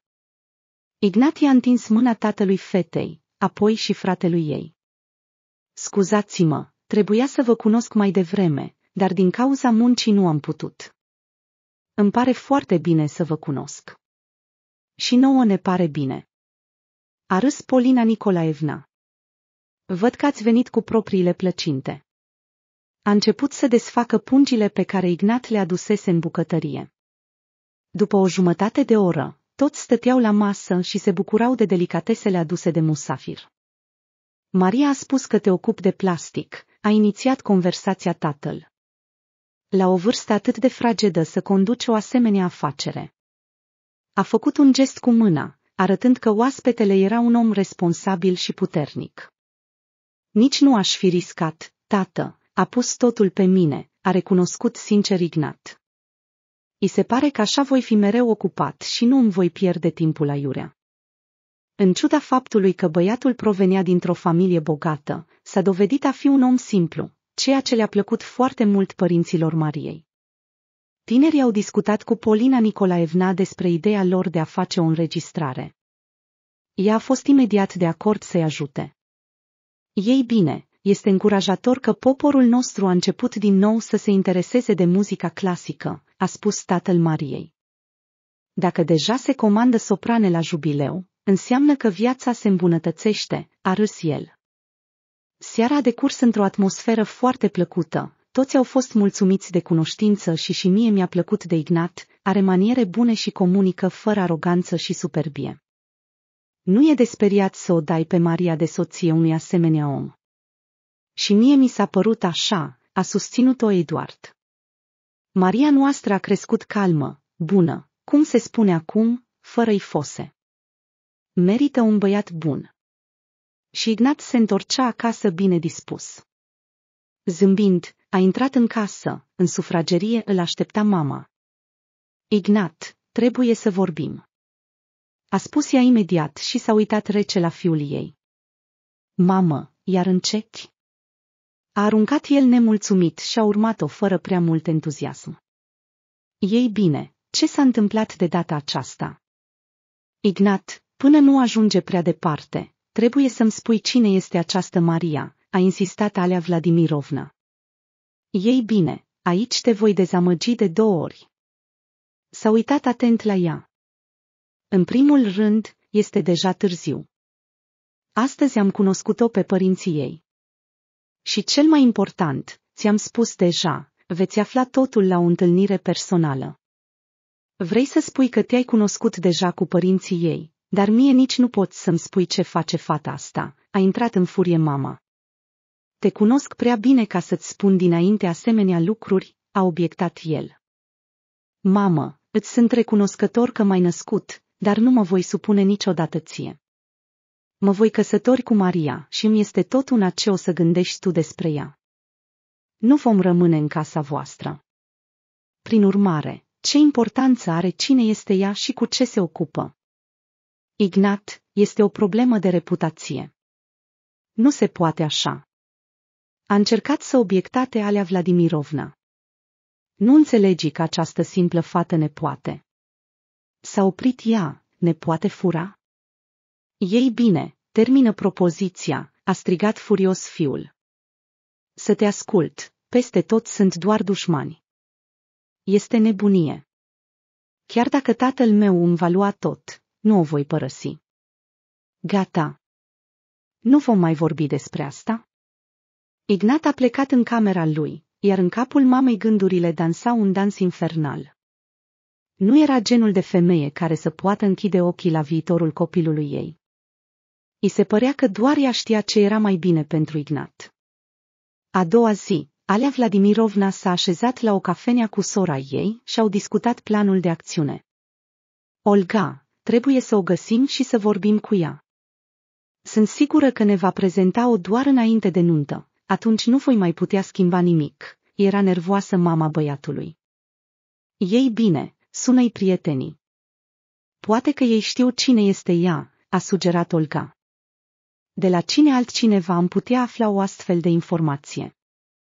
Au trecut în revistă toate variantele despre cine ar putea o cunoaște pe Maria, dar, în afară de câteva persoane, nu le-a mai venit nimeni în minte. Surorile s-au despărțit, iar Olga Vladimirovna s-a îndreptat spre casă. Pe drum, a decis să treacă pe la un loc. Nu trăia la fel de luxos ca sora ei mai mică, dar, în principiu, și ea era bine pusă la punct. Soțul câștiga bine, cele două fiice deja crescuseră și se măritaseră. Mama teroristă ajunsese până acolo încât fetele au părăsit casa părintească imediat după căsătorie și veneau acolo doar de sărbători mari. Așadar, Olga Vladimirovna a decis să treacă pe la un magazin imens unde se afla supermarketul ei preferat de veselă. Aceasta din urmă era pasiunea și boala ei. În general, ce fel de ustensile de bucătărie nu avea ea? Cu siguranță ar fi putut deschide un muzeu. După ce a cumpărat o altă cratiță, Olga a mers fericită spre mașină. Ochii îi străluceau de bucurie și nu l-a observat imediat pe nepotul ei. Privirea ei a căzut pe Ignat abia când urcau treptele. Tinerii își terminaseră deja treburile cu înregistrarea și au decis să aleagă împreună un ceas pentru Ignat, care îi căzuse și se spărsese din greșeală în studiel Polinei Nicolaevna. Mătușa băiatului, firește, i-a urmat. Era foarte greu pentru ea să rămână neobservată, dar, având un fel de flair, tot reușea să se ferească de privirile neașteptate ale nepotului și ale prietenei lui. Ei bine, Alea avea dreptate, e o simplă fată, a apreciat Olga Vladimirovna Maria. Măcar i-a cumpărat niște sandale decente. În halul ăsta e rușine să te arăți în lume. Sora Alea nu doar că s-a convins de temerile ei, dar a mers și mai departe. Trebuie să rezolve urgent ceva. Sunt sigură că ea poartă intenționat haine atât de sărăcăcioase pentru ca Ignat să-i dea bani. Îmi imaginez cât a reușit deja să scoată de la el. După magazinul de ceasuri, tinerii au intrat în una de bijuterii.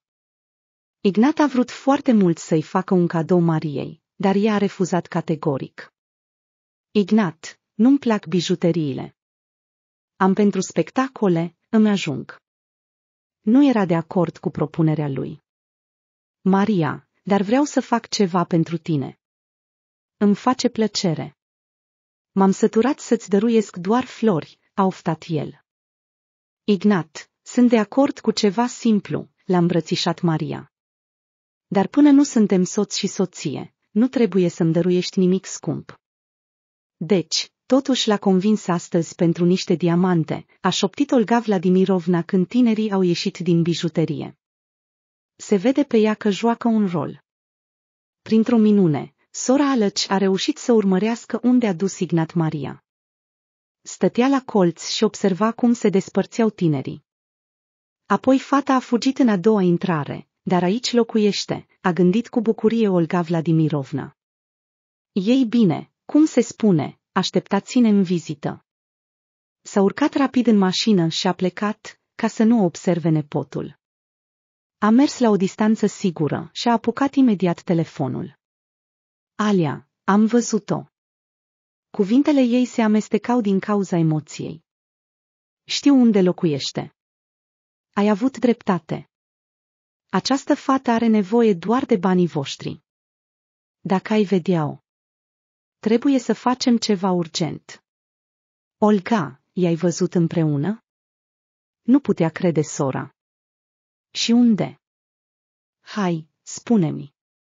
Da, am mers la magazinul meu preferat. Mi-am cumpărat o cratiță atât de drăguță. O conducea pe Olga spre o altă direcție, dar ea s-a prins rapid. În general, mă întorc la mașină și iată-i că vin. Mai întâi au intrat în magazinul de ceasuri, apoi în bijuterie. Deci, vreo 20 de mii, dacă nu chiar 30. Ignat a cheltuit cu siguranță pe ea astăzi, dar... Îți voi spune mai mult. Ea este o adevărată prădătoare. La vedere obosumflată, îmbrăcată în haine vechi, sunt sigură că se îmbracă intenționat așa ca Gnat să o compătimească. Este atât de vicleană, mamă, nu te speria. Olga, dar ce să fac? A spus îngrozită Alia Vladimirovna. Nu mă ascultă. Alia, trebuie să o prindem cumva. Hai să o urmărim și să o invităm undeva, a sugerat sora. Și acolo vom vorbi serios cu ea, vom aranja totul ca și cum Ignat nu știe și tu nu-i spui nimic. Tu vrei foarte mult să o cunoști, dar fiul tău se opune. Dar tu ești o femeie nobilă, vrei foarte mult să o cunoști pe viitoarea ta noră. Vom inventa ceva despre caracterul groaznic al lui Ignat, că uneori este insuportabil și, cel mai important, care deja o partidă potrivită. Se întâlnește cu o anume Angelina de trei ani, doar că se ceartă și se împacă, dar, cum se spune, nu pot trăi unul fără celălalt. Dar dacă ea îi va spune totul lui Ignat, mă va devora pur și simplu. S-a speriat Alea. Trebuie să vorbim cu ea în așa fel încât să ne creadă. Tu ești totuși mama lui, deci nu-i vrei răul. Și el ți-a spus personal că nu-și imaginează viața fără Angelina lui. Hai să ne mai întâlnim odată și să discutăm totul la fața locului. Sora mai mare era obosită de toată această agitație. Ignat se întorcea acasă fericit. A aruncat o privire la discul pe care l-au înregistrat astăzi. Videoclipul era și pe un stick USB. Acum nu mai trebuia decât să completeze formularul. Cunoștea toate datele Mariei. Sunt sigur că o vor selecta pentru a participa la acest concurs. Voi găsi o soluție pentru banii de drum. Principalul lucru este să primesc un răspuns pozitiv, a meditat tânărul. Își dorea foarte mult să facă ceva special pentru Maria, atâta timp cât ea nu-i permitea să-și arate grija pentru ea. Într-o oarecare măsură o înțelegea, dar el era un bărbat care, în plus, câștiga bine.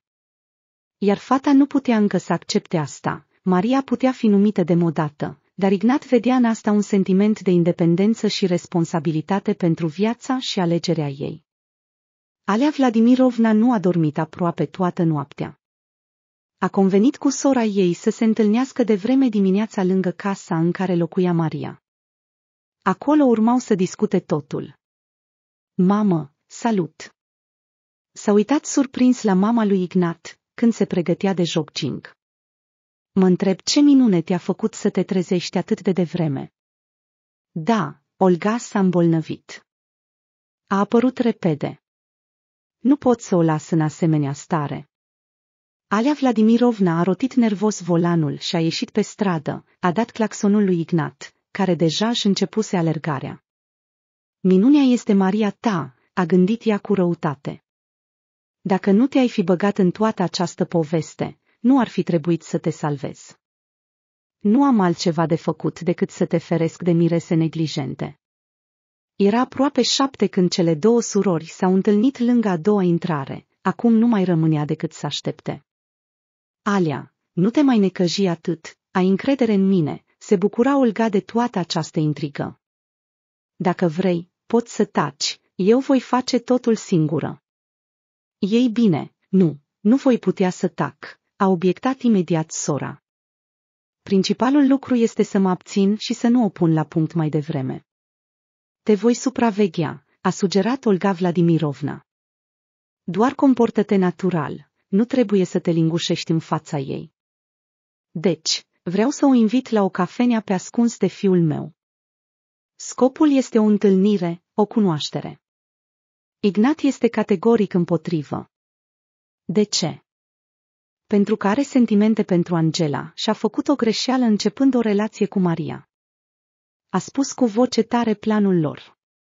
Olga, dar dacă nu mă crede și se gândește că o păcălim? Trebuie să demonstrez că sunt mama lui Ignat. Ai o poză cu voi toți trei în portofel, i-a venit o idee surorii. Arată eu. Ignat este cu cinci ani mai tânăr acolo, dar arată la fel și acum. Bine. Dar dacă nu mă crede despre Angelina. S-a uitat atent la ea sora. Va crede. Tu vrei doar ce e mai bun pentru ea, a răspuns Olga Vladimirovna. Desigur, ea este foarte vicleană, dar nu inteligentă.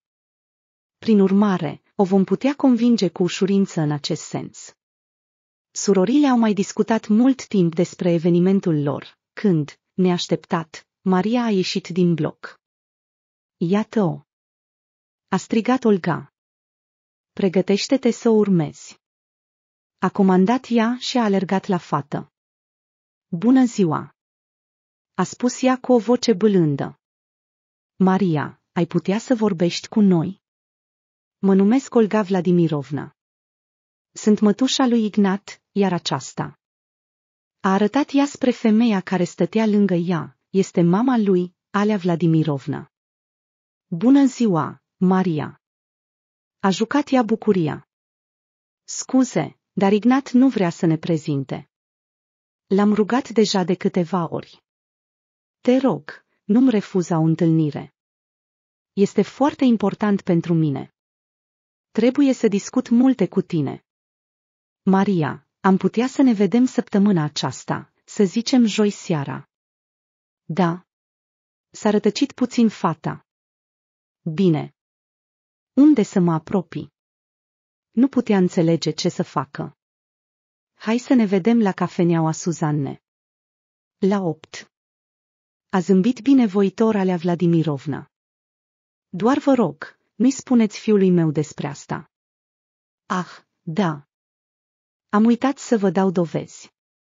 Femeia a scos repede portofelul din geantă. Uite, acesta este soțul meu, eu și, cum vedeți, Ignat. Fiul meu mi-a spus că zilele trecute a cunoscut-o pe părinții tăi. Și eu am început să-l rog să vă aducă la noi, dar el este categoric împotrivă.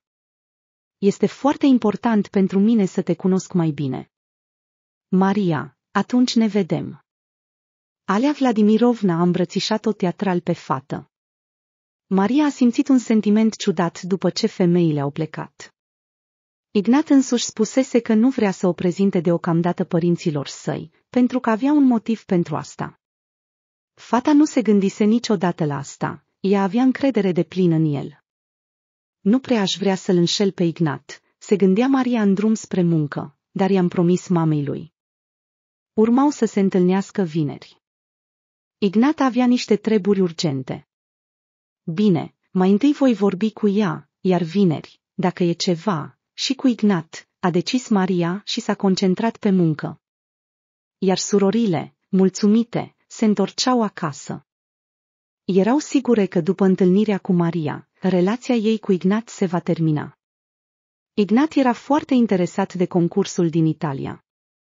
Cererea trebuia depusă până la 1 iunie, ei și Maria mai aveau două zile.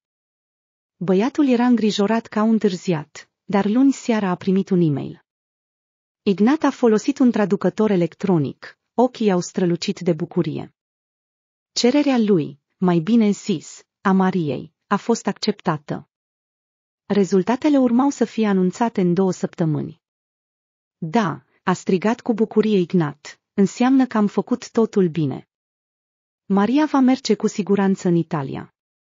Tânărul abia se stăpânea să nu o sune imediat, dar până când Maria nu era selectată pentru concurs, nu avea rost să facă asta.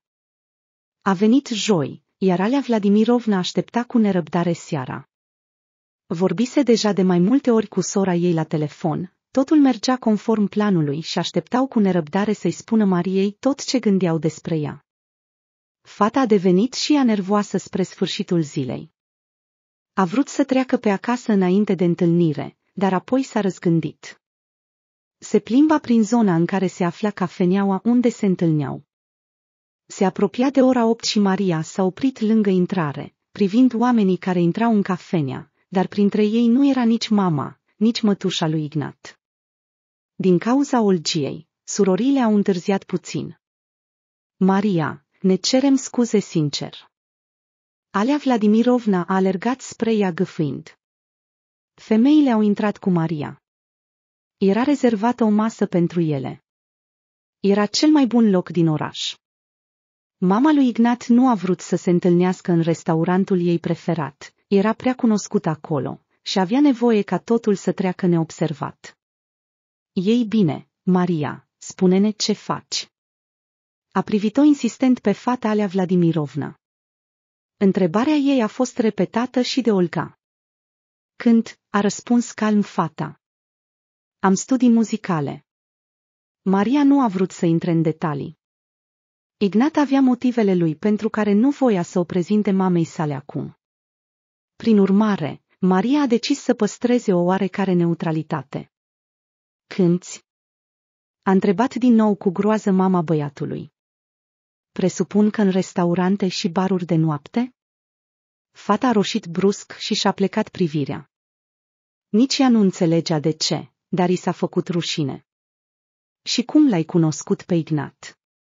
Nu mi-a spus nimic despre asta, a întrebat rece alea Vladimirovna. Lângă magazin, a răspuns sincer fata. Am căzut și am stricat un tort. Iar Ignat mi-a cumpărat unul nou și m-a dus acasă. Clar, a spus Olga Vladimirovna fără prea mult interes. Maria, înțelegi, este o situație delicată. A tăcut și s-a uitat la sora ei. Maria, Ignat are o prietenă. De mult timp. Da, relația lor nu este perfectă, dar o iubește foarte mult pe Angelina, a început atacul alea Vladimirovna.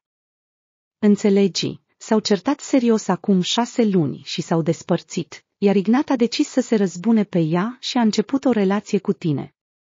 Nici eu, nici soțul meu nu suntem absolut deloc împotriva ta, suntem de acord, pentru că ne-am săturat de toate caruselul fiului nostru. Când mi-a spus că a apărut o fată minunată, Maria, în viața lui, eram în al nouălea cer de fericire. Tot timpul l-am rugat să te aducă la noi. Și-a atins un ochi cu mâna, ca și cum și-ar fi șters lacrimile. Dar acum câteva zile mi-a spus categoric că inima lui aparține Angelinei. Maria, îmi pare foarte rău, dar nu va ieși nimic cu tine și Ignat. Fata a palit. A vrut să se ridice și să plece. Avea nevoie să se gândească la tot ce i-a spus mama lui Ignat. În ciuda îndoielilor, totuși avea sentimentul că toate astea nu sunt adevărate. Maria, înțelegem că ți este dureros, a intrat în luptă Olga Vladimirovna. Dar Ignat a avut mereu multe fete, așa că nu lua asta personal. Și, în plus, Angelina este o frumusețe incomparabilă. Doar dacă ai fi văzut-o. Am înțeles, a spus cu greu Maria. Mulțumesc pentru întâlnire. Voi vorbi cu Ignat. Mai bine nu face asta, a obiectat imediat mama. Pur și simplu nu îl cunoști. Fiul meu este foarte răzbunător și crud. Îți voi dezvălui un secret teribil. Odată, Ignat și-a bătut prietena. Soțul meu și cu mine am rezolvat problema câteva luni mai târziu. Maria nu știa ce să facă mai departe. Se uita la femei, iar ele tăceau. Ei bine, a fost o plăcere să te cunoaștem, Maria, a spus în cele din urmă alea Vladimirovna. Sper că întâlnirea noastră te va ajuta cu adevărat să faci alegerea corectă. Mulțumesc pentru cafea, a spus brusc Olga Vladimirovna și a început să se grăbească. Da, desertul a fost pur și simplu magnific, a zâmbit sora ei. Ei bine, atunci hai să mergem. Maria a aruncat o privire în colțul îndepărtat. Nu erau nici muzicieni, nici artiști. Fata nu a spus nimic interlocutorilor și s-a îndreptat spre o mică scenă. Microfonul era oprit, dar asta nu a împiedicat-o pe Maria să interpreteze aria ei preferată. Mama lui Ignat s-a uitat la sora ei și s-a grăbit spre ieșire. Mai aveau doar câțiva metri când fata a început să cânte. Amândoi s-au oprit, ca paralizate. Întreaga cafenea a fost inundată de o voce puternică, nepământească. Alea Vladimirovna și-a deschis gura de uimire. Sora ei nu se putea mișca. Maria a cântat doar câteva minute, dar deja se adunaseră oameni în jurul ei. Chiar și administratorul a ieșit să vadă minunea. Cafeaua dumneavoastră este gratuită astăzi, i-a spus el Mariei când a terminat de cântat. Niciodată nu am mai văzut așa ceva. Olga a apucat-o de mână pe alea și au ieșit rapid din cafenea. Tot corpul le tremura de la ceea ce auziseră. Ce talentare! A spus Olga Vladimirovna cu voce gătuită. Când mi-a spus că cântă, m-am gândit că Maria este o cântăreață de bar, dar are un talent extraordinar. Da. Nu mă interesează. S-a supărat sora. Să știe locul, Ignat nu se va căsători niciodată cu ea. Nu-i voi permite. Maria și-a luat geanta și s-a îndreptat spre casă, pierdută. În interiorul ei parcă se produsese o ruptură. O parte tot credea necondiționat în Ignat, cealaltă se îndoia de el. Mâine voi vorbi cu el, a încercat să se liniștească. Nu mi-a spus niciodată despre Angelina. Totul pare atât de nenatural. Dar întrebarea este de ce nu mi-a propus niciodată să-i cunosc părinții. Și eu nu am un răspuns la asta, a spus Maria și a izbucnit în plâns. Seara a sunat Ignat. Fata a vorbit cu el rece. Nu voia să clarifice relația la telefon. Pentru asta trebuia să-i privească în ochi. Maria, ești dezumflată? Te doare ceva? A întrebat băiatul îngrijorat. Nu, doar că am obosit foarte mult la muncă astăzi. Scuze, a spus ea. Băiatul nu a mai vrut să o chinuie și și-a luat rămas bun până mâine. Dacă e adevărat, de ce mă sună atunci? A spus o voce în capul ei. Dacă o iubește pe Angelina, nu ar trebui să aibă niciun interes pentru mine. Din cauza lipsei de experiență în comunicarea cu diverse persoane și a concentrării constante asupra muncii, Maria nu știa că cineva ar putea minți atât de intenționat. În plus, nu a văzut nicio motivație pentru toate acestea, așa că era greu pentru ea. Îl iubea pe Ignat, nu putea fi nicio îndoială în privința asta, și el o iubea, o simțea. Maria a admis că ar fi putut exista o Angelina în viața lui. Dar atunci de ce a aflat despre ea de la mama lui, nu de la el? Erau prea multe întrebări la care nu găsea răspunsuri. Fata era foarte obosită și a adormit abia dimineața. După cum se spune, nu vine niciodată o nenorocire singură. A doua zi, Ignat și Maria nu s-au mai văzut. A sunat-o la prânz și i-a spus că a trebuit să plece de urgență. Un client important i-a dat în judecată. Ignat și tatăl său se confruntau pentru prima dată cu o acuzație de producție de produse din plastic periculoase. Ce prostie! A strigat Dmitri Ivanovici. Ce prostii! Ignat, bineînțeles că voi veni cu tine. Am sunat deja avocatul.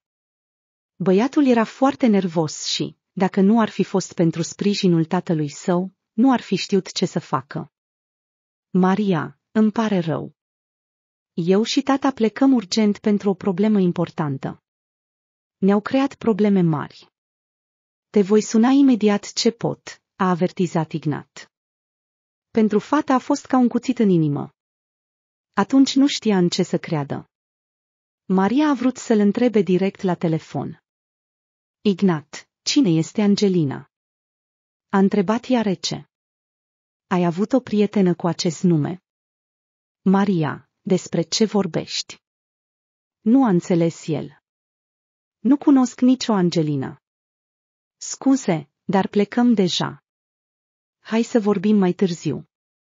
Răspunsul lui Ignat a aruncat-o pe Maria în și mai multe îndoieli. A așteptat telefonul lui pentru a continua conversația. Fata se simțea ca o victimă înșelată. Nu, este o minciună. Și-a ordonat să nu se lase pradă sentimentelor de milă. Ignat mă va suna și voi afla totul de la el. Dar băiatul nu a sunat. Nici a doua zi, nici peste două, nici peste o săptămână. Cu fiecare zi ce trecea, Maria se simțea tot mai rău și mai rău. Deja accepta încetul cu încetul că Ignat o părăsise. Fata a încercat de câteva ori să-l sune, dar numărul lui era blocat. Într-o clipă, pentru Maria, toată viața și-a pierdut sensul. Nici măcar munca nu o mai ajuta. A început să mănânce prost, a slăbit mult, nu mai avea putere pentru vocea ei puternică. A ajuns ca la o repetiție Maria să-și piardă cunoștința. Se ținea cu ultimele puteri, a povestit totul părinților. Maria, toate astea par foarte ciudate. A spus tatăl ei. De ce i-a trebuit mamei lui să te vadă? Trebuia să se întâlnească cu tine doar pentru a-ți spune că are o anume Angelina? Tată, dar mi-a blocat numărul. A plâns fica. Îmi este atât de rău, nici nu pot să descriu. Nici nu mai vreau să trăiesc. Stai, nu mai spune așa ceva. A ordonat sever Polina Nicolaevna. Nu este singurul băiat din lume. Și, în plus, în viață se poate întâmpla orice. Ultima oară când am vorbit cu el, Ignat mi-a spus că pleacă undeva cu tatăl său. Era o problemă foarte importantă și-a șters lacrimile Maria. Ei bine, vezi.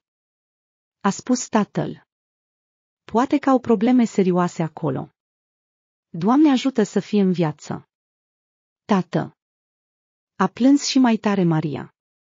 Îl iubesc, nu pot trece peste asta. Nu știu ce să fac. Să aștepți. A îmbrățișat-o mama. Maria, nimeni nu știe ce s-a întâmplat, deci nu trebuie să ghicesc. Să sperăm că este bine. După conversația cu părinții, Maria s-a liniștit puțin. Și a reușit să se țină în frâu încă câteva zile. Dar când au venit weekendurile, a cedat din nou. Maria a plâns aproape două zile. Nu mai voia nimic. A încercat din nou să-l sune pe Ignat, de data aceasta a încercat să-l sune de pe telefonul tatălui și de pe telefonul mamei, dar rezultatul a fost același. Mama i-a dat fiicei sale un calmant și a adormit. Polina Nicolaevna a decis să vorbească cu soțul ei, Edic. Dacă nu apare în decurs de o săptămână, mergem la el acasă, a spus soția. Nu-mi pasă ce va crede ea, mama lui. Principalul este să aflu adevărul, altfel ea va înnebuni cu siguranță. Ignat și tatăl său au sosit în orașul unde i-a chemat poliția. Au fost pe drum aproape o jumătate de zi, ambii îngrijorați, foarte obosiți. Dmitri Ivanovici era foarte furios. Avocatul său trebuia să sosească în câteva ore după sosirea lor. Înțelegi, fie au vrut să ne scoată de pe piață, fie să profite de noi, mușchii de pe fața bărbatului se crispau nervos. Tată, acum totul depinde de dacă ne putem baza pe relațiile noastre, a oftat Ignat.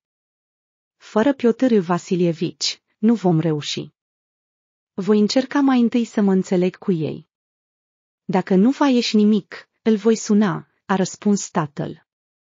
Dar totul a ieșit cu totul altfel decât și-au imaginat amândoi. De îndată ce tatăl și fiul au intrat în secția de poliție, au fost imediat acuzați și încătușați. Sunteți nebuni? A strigat Dmitri Ivanovici la închetator. Cer să aștept avocatul meu. Dar nimeni nu părea să-l asculte, iar acest lucru le-a confirmat bănuiala că era o înscenare. Telefonul lui Ignat i-a fost confiscat imediat, iar Dmitri Ivanovici a primit gadgetul doar pentru a efectua apeluri în prezența închetatorului. Avocatul a sosit, dar, după cum s-a dovedit, nici el nu a putut face nimic. Compania lui Dmitri Ivanovici a fost acuzată că produce articole de uz casnic din plastic toxic. S-a spus că deja trei persoane au suferit de pe urma acestui lucru, iar una chiar a murit. Ce prostie! A strigat tatăl lui Ignat. Pur și simplu nu poate fi adevărat. Efectuăm analize de laborator tot timpul. Avem toate documentele de confirmare la companie. Dar nimănui nu-i păsa de argumentele lui Ignat și ale tatălui său. Oleg, a spus Dmitri Ivanovici când s-a întâlnit cu avocatul, nu pot înțelege ce se întâmplă. De ce nu iau în considerare documentele noastre? Dmitri Ivanovici, mă tem că nu ne vom descurca singuri. Cineva te vrea eliminat, a șoptit avocatul. Tatăl lui Ignat l-a rugat să contacteze acoperirea sa, ca să spunem așa. Nu mai era timp de pierdut. Au mai trecut aproape patru zile până când lucrurile s-au mișcat. Un bun prieten al lui Dmitri Ivanovici a contactat anchetatorul și omul de afaceri care voia să-l încadreze. Timp de aproape două săptămâni, Ignat și tatăl său au stat în secția de poliție. Nu i-au lăsat pe nimeni să-i viziteze, doar de câteva ori le-au permis să se întâlnească cu avocatul. Dăm telefonul înapoi, a cerut imediat băiatul când a venit în sfârșit avocatul cu toate documentele necesare. Ignat a căzut extenuat pe bancheta din spate a mașinii, la volan trebuia să meargă tatăl, care se liniștise deja puțin. Dar fiul era prea tânăr și neexperimentat pentru asemenea probleme.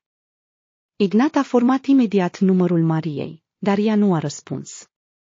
S-a uitat la ceas, se pare că fata avea repetiție. Băiatul a deschis e-mailul și a găsit, uimit, un mesaj din Italia. Suntem bucuroși să vă anunțăm, citea rapid traducerea, vă așteptăm la concursul nostru din 10 dintre cei mai buni cântăreți de operă din lume, pentru a lupta pentru primul loc sau pentru a primi un premiu de consolare. Doamne! Am reușit! Această veste l-a înviorat atât de mult pe Ignat, încât pur și simplu a prins viață. A mai sunat-o de câteva ori pe Maria, dar fără succes. După două ore, a schimbat locul cu tatăl său. Ignat a așteptat cu speranță ca Maria să-l sune ea însă și. Deja începea să se îngrijoreze. Înțelegea perfect că în ultimele două săptămâni Maria pur și simplu își ieșise din minți, dar nu putea să-i spună ce s-a întâmplat cu el. În cele din urmă, au ajuns acasă. Ignat l-a lăsat pe tatăl său și s-a dus la opera. Era obosit și nu mirosea prea bine, pentru că nu mai făcuse duș de multe zile, dar tânărul era atât de îngrijorat de faptul că Maria nu răspundea la telefon, încât era pur și simplu scos din minți. La teatru i s-a spus că Maria era bolnavă de două zile și stătea acasă. Inima lui Ignat a bătut mai repede. S-a grăbit spre casa ei. După 40 de minute, suna la ușa Mariei. Ignat? I-a deschis Polina Nicolaevna. S-a întâmplat ceva cu tine? Și-a revenit ea, văzându-i aspectul neglijent. Da. Eu și tatăl meu am fost încadrați și am petrecut două săptămâni în închisoare, a spus el încet. Unde este Maria? Ce s-a întâmplat cu ea? Nu am putut să iau legătura cu ea. Mi-au luat telefonul. Abia am reușit să rezolvăm problema. Este în camera ei, intră, l-a invitat gazda pe musafir. Maria își ieșise din minți tot timpul acesta. Ignat, după întâlnirea cu mama ta, nu mai este ea însă și. S-a dus la mama? Ignat s-a uitat la ea surprins. Nu mi-a spus nimic. Chiar înainte de dispariția ta. Mama ta a invitat-o la o cafenea și i-a spus că tu iubești o anume Angelina și că veți avea curând nuntă. Ce prostii! S-a indignat musafirul. Nu cunosc nicio fată cu acest nume. Dar cred că îmi dau seama de ce i-a spus asta Mariei. Mama mea este împotriva ei, așa că nu am vrut să le prezint până la nuntă. Nu-mi pasă deloc ce vrea mama mea. O iubesc pe Maria și cu ea mă voi căsători. Ignat a deschis ușa camerei fetei. Ea zăcea întoarsă cu spatele la perete. El a intrat încet și s-a așezat pe vine. Apoi Ignat a mângâiat-o pe cap. Maria s-a întors brusc. Ignat. S-a uitat la el îngrozită. Pe obrajii ei au curs lacrimi. Unde ai fost? Maria, toate prostiile pe care le-a spus mama mea nu sunt adevărate. Nu iubesc pe nimeni altcineva decât pe tine. Nu am avut niciodată nicio Angelina, pur și simplu ea nu te-a plăcut de la început. Tocmai de aceea nu am vrut să te prezint mamei mele până la nuntă, a spus el, privind-o fix în ochi. Maria, eu și tatăl meu am fost la un pas de a fi închiși, și pentru mult timp. Am stat două săptămâni după gratii, ne-au luat telefoanele. Îmi pare rău, nu am avut nicio posibilitate să te sun. Fata l-a îmbrățișat imediat pe Ignat. Se bucura și plângea în același timp. Te rog, vino cu mine, a implorat-o el. Trebuie să-ți spun ceva. Maria s-a grăbit să se pregătească, iar Ignat a dus-o la el acasă. Fata a fost uimită când au intrat în casa uriașă. Tată, te rog să vii la noi, a cerut fiul. Nu va dura mult. Trebuie să avem o discuție serioasă. Ignat, nu mai am deloc putere, a încercat să se opună tatăl, dar totuși s-a îndreptat spre sufragerie. Ignat, fiule, hai măcar să ne salutăm. S-a grăbit spre el mama. Nici măcar nu mai lăsat să te îmbrățișez. Mamă, coboară jos. I-a răspuns fiul rece și i-a îndepărtat mâinile de pe umeri. Alea Vladimirovna se uita îngrozită la oaspete. Maria a fost înjenită la început, dar apoi nici ea nu a mai putut să-și ia ochii de la ea. Ei bine, dragi părinți, permiteți-mi să vă prezint logodnica mea. Maria este viitoarea mea soție, a aruncat el o privire furioasă mamei sale. Și, în ciuda tuturor eforturilor mamei, pot spune cu toată încrederea că nunta noastră va avea loc foarte curând. Ei bine, sunt foarte fericit. S-a apropiat Dmitri Ivanovici de fată și i-a sărutat mâna. Tocmai ieșise din baie, iar halatul său de baie dădea o notă comică întregii situații. Scuze că sunt în halat. A arătat el spre halatul său. Aș dori să declar în fața tuturor că nu am avut niciodată și nu am nicio prietenă pe nume Angelina. Fiul s-a uitat din nou fix la mama sa. Mama are o imaginație foarte bogată. Desigur, îți mulțumesc că m-ai comparat cu Napoleon, dar nu trebuia să faci asta. A zâmbit el cu răutate. Dmitri Ivanovici s-a uitat interogativ la soția sa. I-a plecat ochii de rușine. Am ratat ceva? A spus el nedumerit.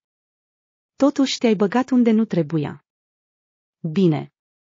Sper că mama a înțeles că dorințele ei nu coincid cu ale mele și nu vor fi niciodată realizate. A oftat Ignat. Ei bine, acum, după ce am clarificat totul, aș dori să vă povestesc puțin despre viitoarea mea soție. Maria este o soprană aspirantă. Are un talent real.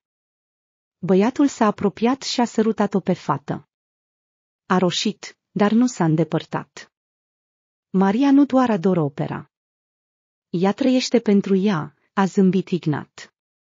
Și pentru a vă face o idee despre nivelul talentului ei, vă voi spune următorul lucru. Maria este una dintre cele zece soprane care vor concura pentru titlul de cea mai bună din lume.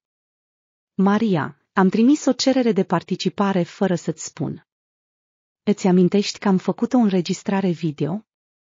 Le-am trimis videoclipul și am primit un răspuns că vei participa la concurs. Vei merge în Italia. O, Doamne! Fata și-a acoperit gura cu mâna de șoc. Ignat, este incredibil. Nimeni din teatrul nostru nu a fost acceptat la acest concurs. O, dar lumea întreagă ar trebui să te cunoască. A privit-o în ochi. Maria, talentul tău ți-a fost dat de Dumnezeu și trebuie să-l împărtășești cu oamenii. Nu te teme de nimic. Te voi ajuta în toate. Cu siguranță vei reuși. Te iubesc.